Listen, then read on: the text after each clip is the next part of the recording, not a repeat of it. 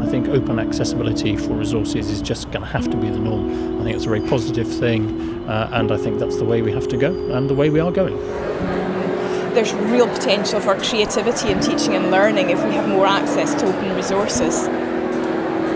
It really shows the maturity of the of the topic and the practitioners that we can have a multi-session conference um, in, in Cardiff. It's a very friendly, welcoming conference of enthusiasts who have a can-do attitude. I think the thing I'm uh, most looking forward to at the conference today is the uh, sheer number of amazing people that are here. Uh, this conference is, I mean, there's always good papers, good keynotes, but it's all about the people really. Open education is something that's critical. It's about sharing the best things that we do. What excites me is the ability to get more minds, more experts, more novices around the world to think about and contribute to human knowledge in the same way that you can on Wikipedia. I think the exciting thing is that you're not reinventing wheels all the time.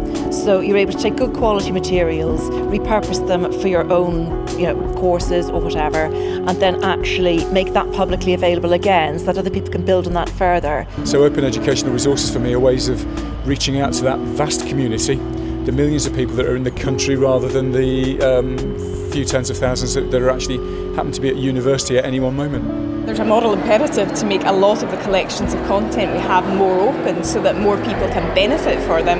Um, I, I don't think there's, there's a compelling reason not to make educational content open. We're funded by the public sector. It Doesn't matter whether funding comes from a funding council or whether it comes from students who are funded from the public purse through the loan system. So why should higher education, who are being paid by the public sector, hold stuff to themselves, make it look as if it's private? I, th- I think the biggest challenge that we're facing is just lack of awareness.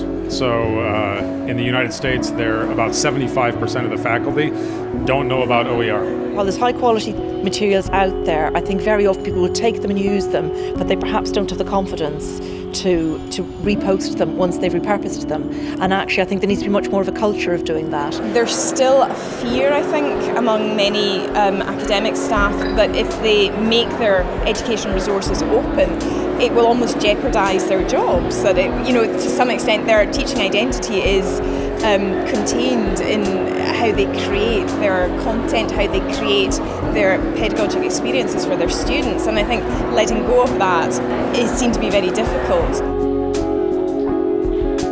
Uh, Things are getting better. Progress is being made, uh, but it's still a long way to go before we get to a situation where we all want to be in, uh, where resources are much more openly available and that digital learning is, is totally mainstreamed.